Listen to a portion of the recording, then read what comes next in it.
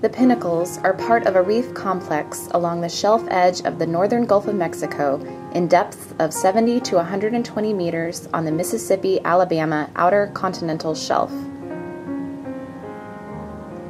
The pinnacles are thought to be drowned coral reefs that thrived during the late Pleistocene, 18,000 to about 12,000 years ago, during a time of lower sea level. The rapid rise in sea level, increased turbidity, and possibly decreased water temperature led to the death of these reef forming corals.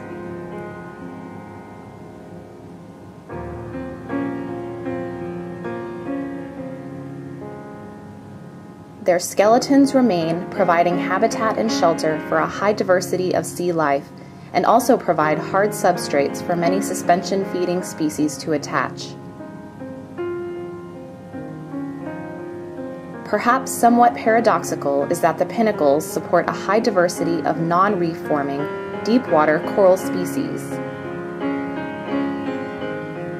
These octocorals and sponges provide increased habitat complexity and contribute to what can be considered a biodiversity hotspot or an area of high species richness.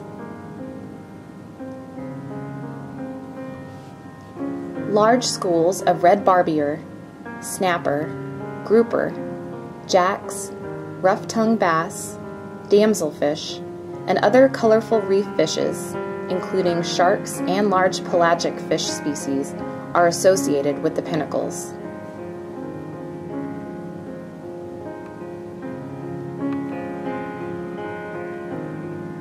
Unfortunately, the pinnacles are just immediately north of the Deep Horizon oil spill and are under the current location at this time.